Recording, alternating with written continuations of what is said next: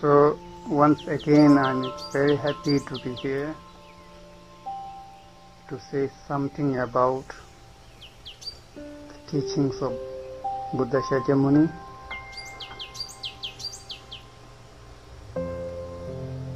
There are different types of practices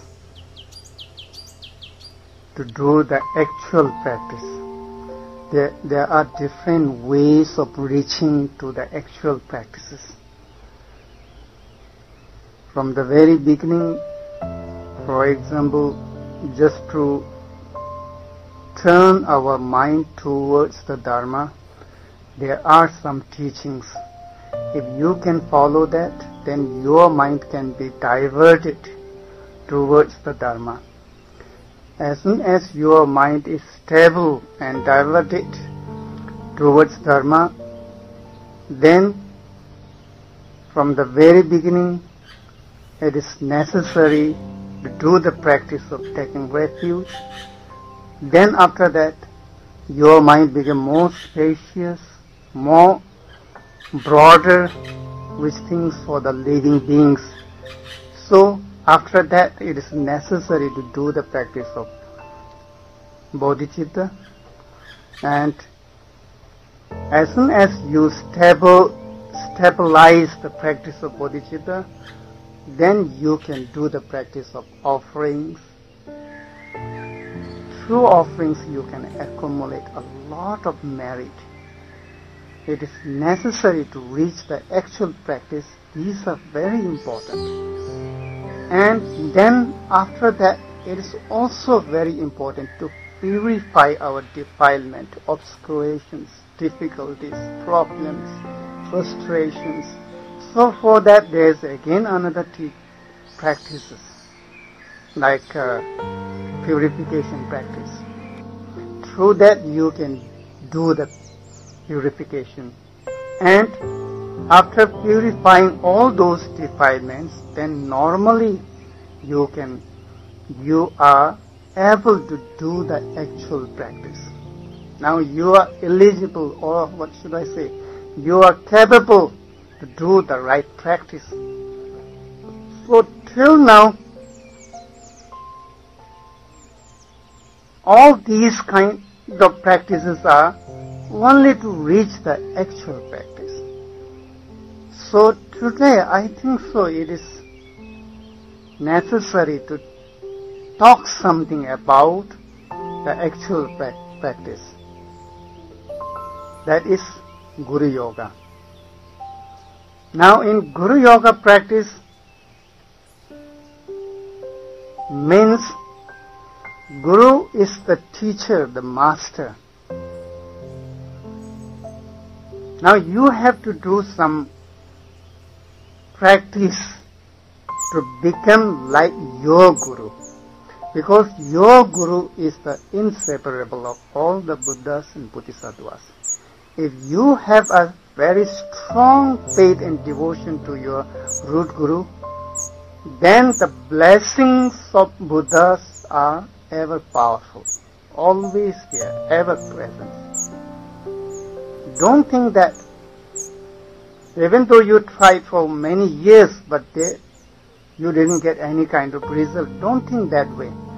Now there is a wrong view saying that you tried for many years, but I didn't receive any uh, result because my guru has no power. If you go on thinking that way, that is wrong view because that obstructs your way of practicing, obstructs to become like your guru.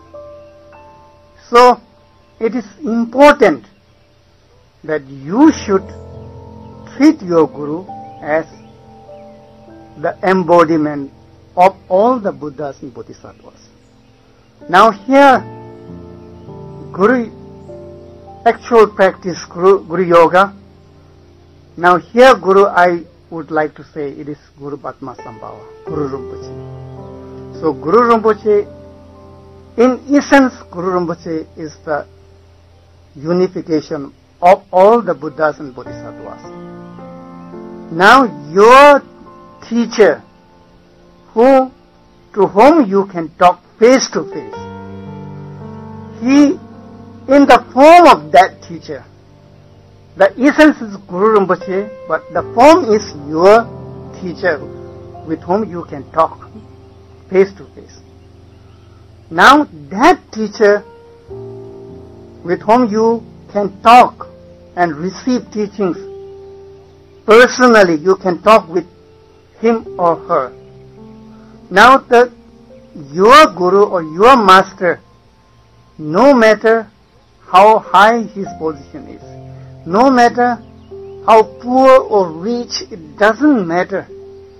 The guru or the teacher, real teacher is that that uh, person who can always guide you to become Buddha.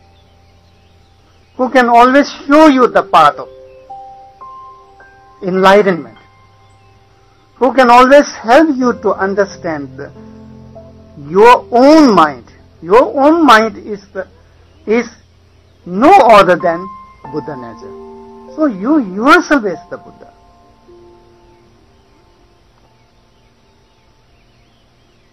Now in many teachings it is said that if we go on judging outwardly, that is foolish way of thinking.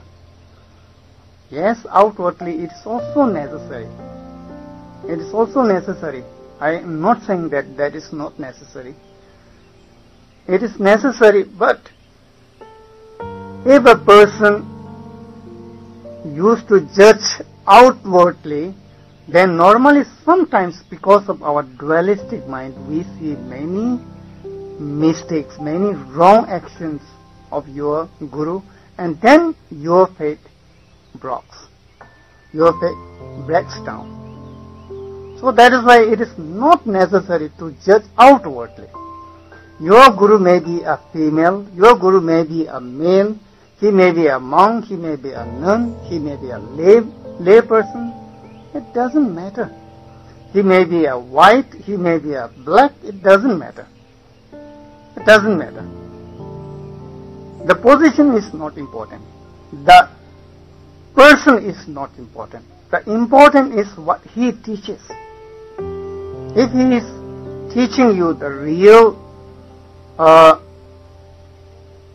if he sh- shows you the real path towards Buddhahood, if he made you to recognize your real nature, that is Buddha nature within yourself, then he is your Guru. There are different types of gurus. Some used to, even your parents, for example, the children, when they were born, the first guru is their parents.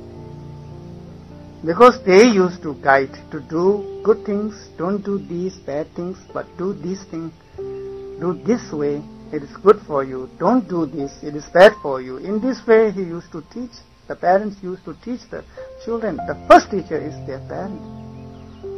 And then slowly they, the student, the children were admitted in the schools. They were taught something in the schools. They are also your teacher. They are also your guru. They help you to do something. They are making your future. They are helping you to develop your mind. So don't treat that they are small. They are also great. They are also great.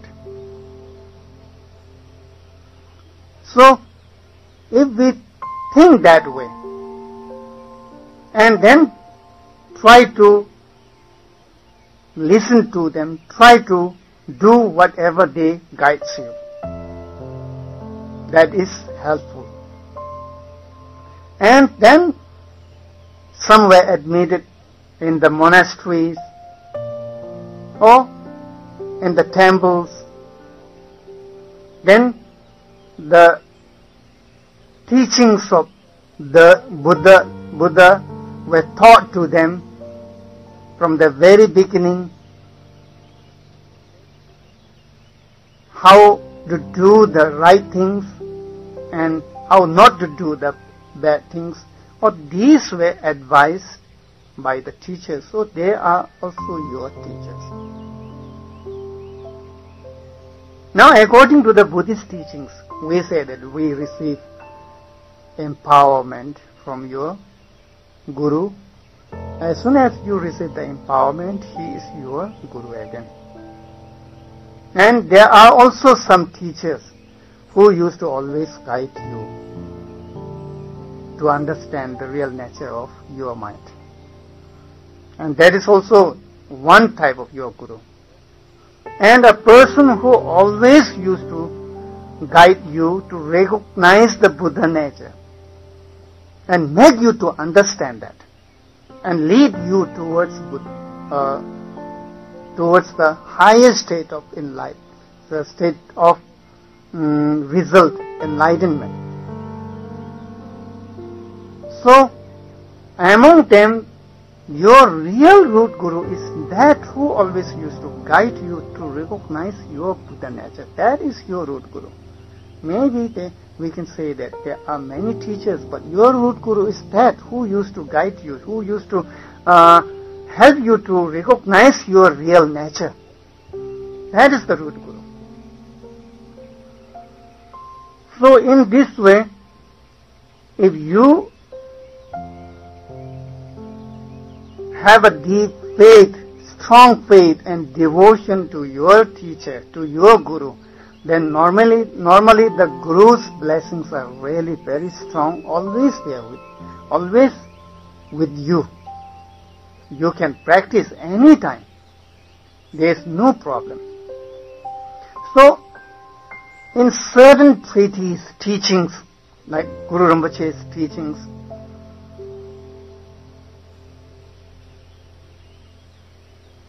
from the very beginning, if you want to do the practice of Guru Yoga, now it is necessary that again you have to visualize the refuge tree, something like that. Again, that is necessary. Each time the refuge tree is there, that means you are making it a habit daily habit so that you can go on thinking on that and the uh, method of visualization and the blessings receiving from them and the practices what you are doing if you go on treating them important and with deep faith and devotion if you can do that properly then you don't need any other teacher. That is your teacher. And it is also said the real teacher is inside here. The real teacher is here. If you try to meditate and if you try to understand the Buddha nature within yourself, then the real teacher, the real root guru is here, not outside. If you go on searching outside, that is wrong view again. Yes, for the beginners, it's true that you need many teachers. You have to go from place to place and search the teachers and visit many teachings from different teachers and treat them as your guide. Treat them as your teacher. Treat them as your master. They will also help you. But the real, the inner secret teacher is inside here. You can meditate and you can develop your understandings and you try to know the real nature of your mind. That is Buddha nature. Try to recognize that. Then only you will become Buddha.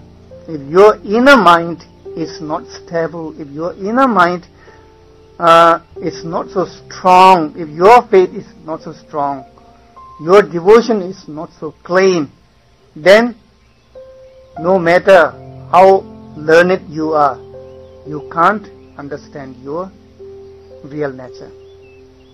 That, that is an obstruction.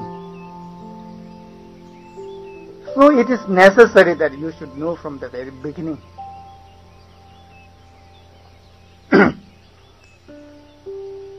and during that Guru Yoga practice, now you have to think that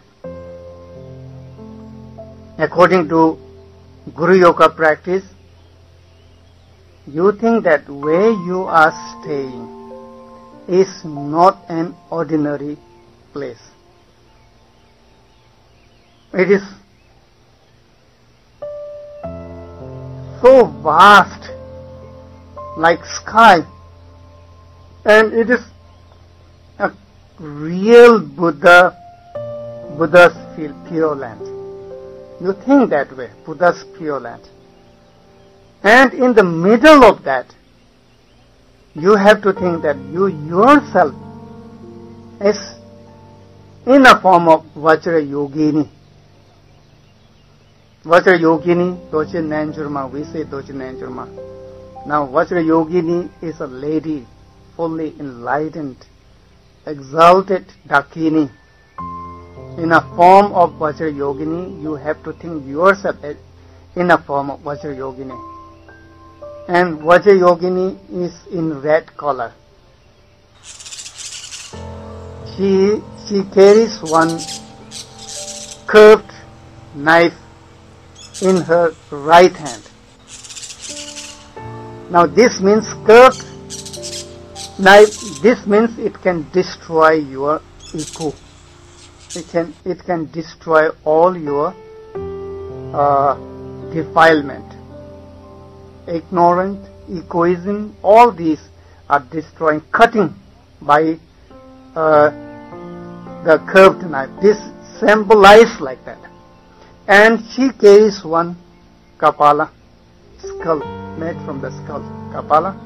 And in kapala you have to think it is filled with a nectar, pure nectar.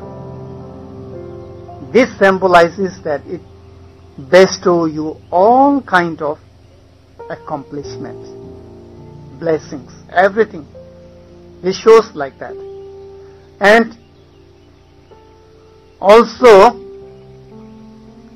in some certain teachings it is said in the Kapala days, red blood. Now this symbolizes that it destroys or dispels all kind of sufferings in this samsara and bestows you the accomplishment. Now you have to think that way. And Vajra Yogini in a standing posture now. In a standing posture you have to think that. The left leg straight, straight and the right leg is little bit bent. She is standing in, in standing posture in a naked, naked body. That shows that she is the pure wisdom dakini, exaltation. Oh, that means essence of all the Buddha, especially the Dharmakayas. Standless sky like Dharmakaya. She is in that form, but in a form Dakini. Now you have to think that way. And she has uh, three eyes. And she is stepping on a cor- corpse, dead body. Corpse. She is stepping on the corpse. Under her feet there is a corpse, or means the dead body. Now that dead body, you must think that that is not dead body, but that is that symbolizes your ego your arrogant, your ego pride is in a form of corpse and she is standing, stepping on that. That means she crushed all your ego.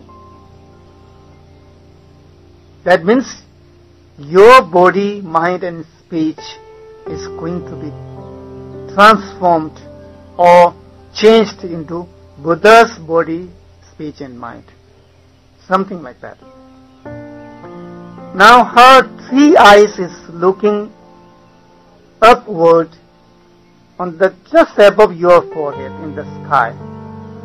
There is your root guru, Guru Padma Sambhava.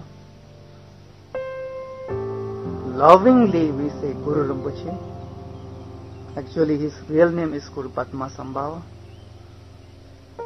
We called him with love, we called him as Guru Rinpoche. That means the precious teacher. Simple word, precious teacher, that's all. So Guru Rinpoche is in front of you. Now here, where Guru Rinpoche is sitting, Now you have to think that a Padma flower used to grow in front of you and it is not so small, it is almost filled whole sky and on that the sun moon disk Guru Rinpoche used to sit on that. Now Guru Rinpoche in a form uh, say of eight years old, that means seems to be very young. You think that way, very lively. And now you should not think that that is Guru Rinpoche is just like our body, the karmic body. You should not think that way. Guru Rinpoche's body is completely pure, like uh, it's a unification of wisdom and clarity. That means you just think that uh, the reflection of the moon in the water, reflection of the moon in the water, and okay, uh, reflection of the moon in the water means very clear, but you can't touch it. There is no any form actually, but you can see it. And it is also like a rainbow, rainbow light, which can be seen but which cannot be touched by our karmic body. We can't touch that. Now there also you must think that it is completely uh, pure. Even though there is a seems to be a form we can see but there is no any form. It is like a rainbow light. And don't think that your Guru Rinpoche is like a Thangka painting or like a statue which we can see uh, and touch it and Thangka painting is also even though we used to keep like this it seems to be standing, but it is flat. There is no any high or low. It is flat. Head, his feet, everywhere it is flat on the paper.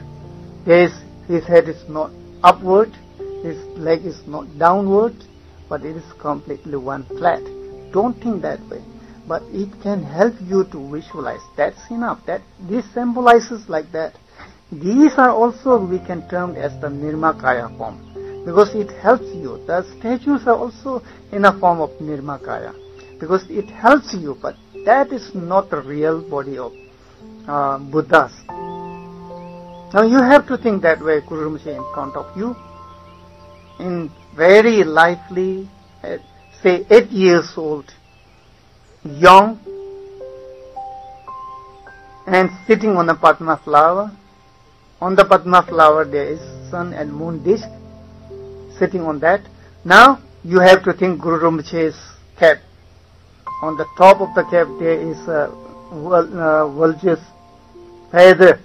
It, it shows that his view, his doctrine, way of thinking. Now here if we say thinking, then in Buddha's stage there is no thinking.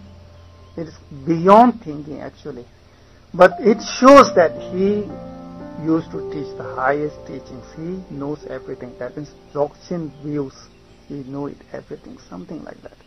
But anyhow, you just think it's a simple. If I go on saying that way, it may uh, seems to be a complicated. But you think that Guru Rinpoche used a uh, uh, his cape, and then on the right hand he used to carry one. Vajra, it is also in a form he used to give his right hand just on the right knee. And his posture of sitting, the gesture of gesture is also in a king's posture, something like a right, uh, right leg a little bit uh, out, stretching forward. And in the left hand he carries one kapala. And in the kapala there is the long life vase. You have to think that way. Filled with the nectar. That means he is the source of all the accomplishment. Through your Guru, the blessings are always there. And when he carries one vajra on the right hand, it is in a form of subduing all the phenomena. Or the, uh, say, these appearances and all the phenomena. Spatially, in a form of subduing means spatially it subdues all the negative forces. We say Guru Nangsi Sina. That means he can subdue everything. And he can give the blessings, accomplishments to those who are interested. It doesn't mean that he, though, he won't give the blessings to those who are not interested. Because of their lack of faith, his blessings may not reach up to them. But Guru Rinpoche's blessings are always there. For example, the sun is shining, sun is in the middle of the sky, that means ever brightful.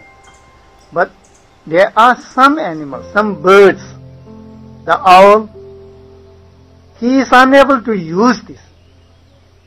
If the sun is there, he can't see anything. Only in night he can see.